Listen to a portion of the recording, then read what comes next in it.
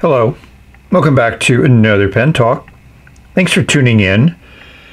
Thanks for joining me as I explore, investigate, examine the wide world of pens. I haven't gotten a Pen BBS pen for a while. This is a new model, new filling system, and I felt it deserved being held up by a crab spinning on a turntable. And I got it in vermouth because I think this semi clear resin really shows off the filling system, and I think that's really where this pen lies. There are some interesting features which we're going to explore, and we're going to see if this is a pen that you might want to purchase or buy. Stay tuned while we investigate this new pen. Hold on to your horses, it's a white box. Gee, where have we seen this before? Hundreds of times. As we can see, it's labeled, as they've been labeling Pen BBS pens recently. The model number 489, the color 21, which is vermouth, and a fine nib. So let's examine this a little closer. Miss Sizemore and Mr. Seymour, no. The lid slides off, revealing a nice, sturdy cardboard box magnetic closure, red and black. We'll see an instruction manual, which is pretty clear on how to fill the pen. In case you didn't know what it was, it's instructions. And in Chinese on the other side. Pen is held down by an elastic strap. It comes in a nice condom, slides out, and we see the pen. First impressions is this nice? It has a good weight. You know, it feels like a quality pen. Nice clean looks. And the first thing you notice is there's a white plastic insert there.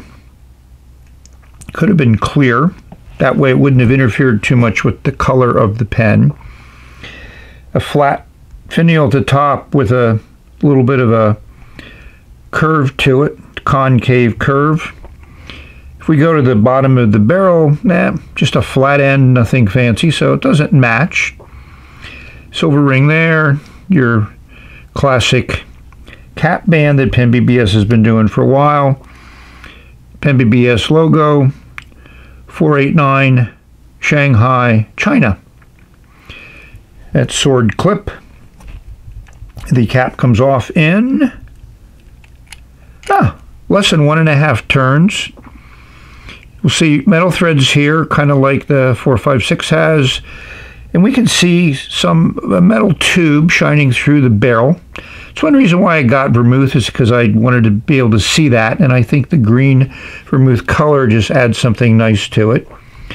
Fits good in the hand. That section's a little bit smaller than I would expect for a pen this size with a nib that size. And the color looks a little different because there's a you know, a frosted uh, nib collar in there. It looked like it could be a standard nib collar, but we'll explore it a little bit later when we look at the bits and pieces of the pen. You may ask how you fill it. Well, you unscrew the blind cap. It doesn't take too many turns, and you feel good resistance because there's a nice um, O-ring there that seals that this sleeve keeps it airtight. As we come up to the top, it comes to a stop. Put the nib in to ink. You push down in one motion, and at the very end, it'll pull up ink. And you leave it set there for five seconds, and you're ready to go. That's the theory. We're going to explore it a little bit more. Stay tuned. So here I've taken the pen apart as much as I'm going to take it apart. There must be something, yeah, there's a screw that holds this sleeve into the uh, blind cap. And when we look at the Sheaffer, we'll see that taken apart. There's also a screw with a Phillips head, that was a flathead, holding this clip in place. It's a one piece cap, so there's no finial to screw in. here's that sleeve, that whole, well, here's the sack holder with the metal sleeve around it. And there's that hole in the middle that when you push down the outer sleeve, it compresses the sack. And then when you get to the bottom, there's some type of a release that then releases that pressure on the sack and the sack expands. The instructions say wait five seconds for that to happen. Here's the section, which appears there's a insert in there, but it doesn't come out easily. You can see it's notched just like other sections, and it's frosted, so I think this is that upgrade that hopefully won't have that cracking issue we've seen in those um, nib collars in earlier versions. Yeah, looks like the standard feed, and of course a standard stainless steel fine nib with a little upturn on it. And we know that there's a lot of other Pen BBS nibs now, especially their calligraphy nibs that we can put in place. So I think this whole scenario is way overkill to fill, to put a little bit of capacity into a pen, you know, much less than almost any other filling system that you have. So here's a touchdown that I took apart because I was going to play my hand at fixing it. And there's that screw that holds this outer collar into the blind cap. Well, this works the same way as it does in the Pen BBS version, but there's a hole there. And this is that sleeve that comes down, and as you can see, when those holes line up is when the air goes back in. So when you're pushing it down, it puts pressure, compresses this sack that's inside, which I've removed here. And that's how it works. Touchdown filler, I think, is the correct name for it. Yes, the big one goes up there, the little one goes up here. And there's a nice tubular nib that was in the pen, which, ah, gee it's got a little bit of an upturn to it. What a surprise. So I actually sent away for a kit. They sell them to restore the Sheaffer Touchdown, and they give you a replacement sack, a gasket, two gaskets. So Needless to say, as you can see, I haven't restored this one, and I'm not motivated to. In this situation, here's that sack inside of here. I'm assuming that you could pull this apart, but I don't know why you would want to. Hopefully that has a long life to it. Or maybe Pen BBS will sell, you know, replacement uh, systems. Or pen restorers will figure out how to restore the sack if there's enough of a demand for it. So you can probably tell I'm not overly excited about this design, especially this filling system. I like the way the pen looks. Pen BBS is very good at doing that. So I do like vermouth. I think it's a great resin. I like the dark green color. Mojito is a little bit lighter green, but in a similar color family. Here's a 355. Uh, upgraded version. It has that insert to hold the draw filler system in place. Here's a 309. The much, much, much aligned piston filler. Here's a 308 with glossy gold trim. And this is my favorite so far, is a 456 with matte gold. Ah, I love this pen. And Penboy Roy has one that I gave him. So that's my vermouth. You can see there's slight variations. A lot of it may have to do with the thickness of the wall. And I'm certain their resin source may have some variations when they make the vermouth rods. But you might say, Chris, you have more vermouth than you showed. And I say, yes, I do. I have two 480s here. Don't ask me why I ended up with two. I like the color, so when I see them for sale, I buy them. And I didn't check that I already had one. Here's that wonderful 348, that pump filler. 323, and I have a knife in vermouth. And just for comparisons, here's the mojito color. As you can see, it's much lighter than the vermouth color. And I think the vermouth, I see a little bit of blue in with the green, and this is more of a yellowish green. Yes, I like vermouth. Obviously, I'm not going to use uh, established ink that you might be all familiar with. I'm going to use a new ink. I bought this a bit ago from Vanness because they had a sale on Pen BBS ink.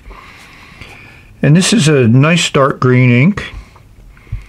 Here's the bottle label. Not quite certain how you distinguish the ink's name. I put a rubber band on here because sometimes that lid can be a little bit tough to get off. We'll look inside the lid and we'll see a very nice dark green ink. And we'll expect some nice writing from that ink. Here's a sample on Tomoe River paper. As you can see, it is on the dark side.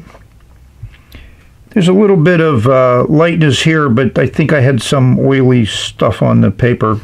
I try to keep that off, but sometimes it gets on. But as you can see, it's a nice ink, nice and dense color, which is what you kind of expected when we looked at the ink on the cap. So now it's that time for some editorial comments, some dimensions. Here are the dimensions. And talk about my feelings about this 489 pen. Well, my first response is, is that I don't think this is as representative of Pen BBS's quality, attention to detail as some of their other pens. I really dislike this white plastic insert. I'm certain it's in there to seal up that screw so it tightens up against that insert, but it just doesn't work visually. The other thing is is that nib is pretty close to the top. Uh, you know, you figure they'd give you a millimeter more room. So you could put other nibs in there, but then all Pen BBS nibs will fit fine. The finish is excellent. The smooth, good to the good to the touch. You know, like that little detail up there. There you can see the threads from the screw that's used to hold in that outer sleeve that's used to fill the pen with. The pen took one milliliter of ink filling. I tried to film, but I messed up the camera. So I heard and saw bubbles when I pushed down that sleeve, and then at the end, it drew up ink. And I just measured the weight of the pen. It weighed one gram more, which is equal to one milliliter. It's nice that the cap comes off in, you know, one and a quarter turns. I did mention it seemed to post, but I was mistaken. It really doesn't post. Yeah, you can put the cap there, but it doesn't stay. It posts very, very high.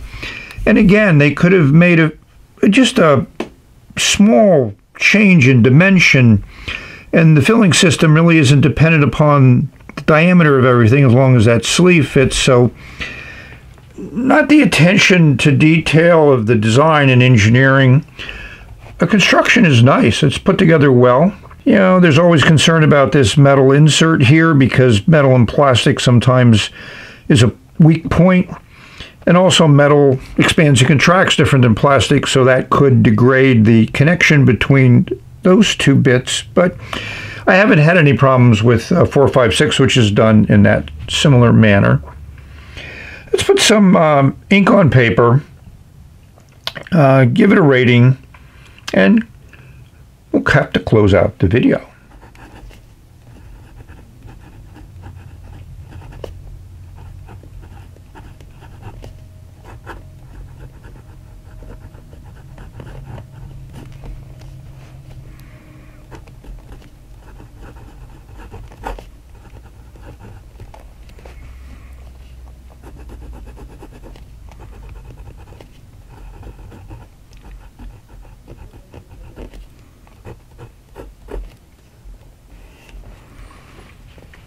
So this is typical Pen BBS fine steel nib. You get some decent feedback. I think you can hear that.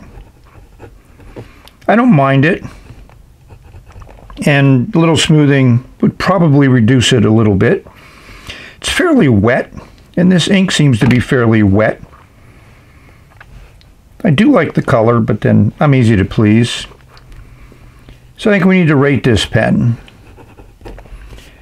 I'm going to give it a 9.1. it doesn't get any checks. I just don't think that this is a pen that is worth bringing out in the marketplace.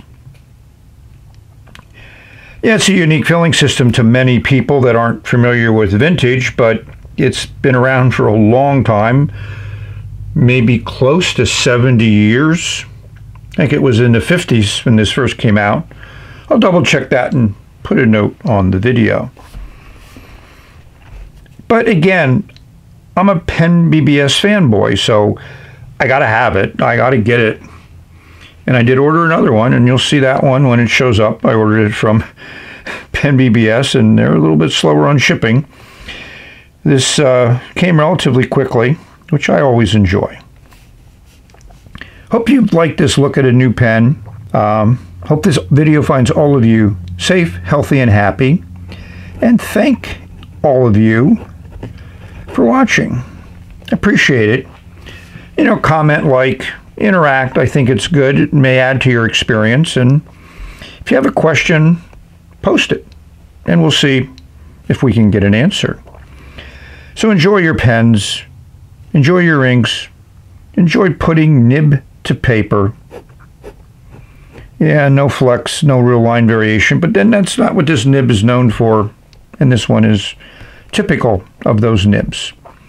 If We've reached the end of this video, and we will say bye until the next one. Yeah, it's a consistent writer, which again is a Pen BBS trait.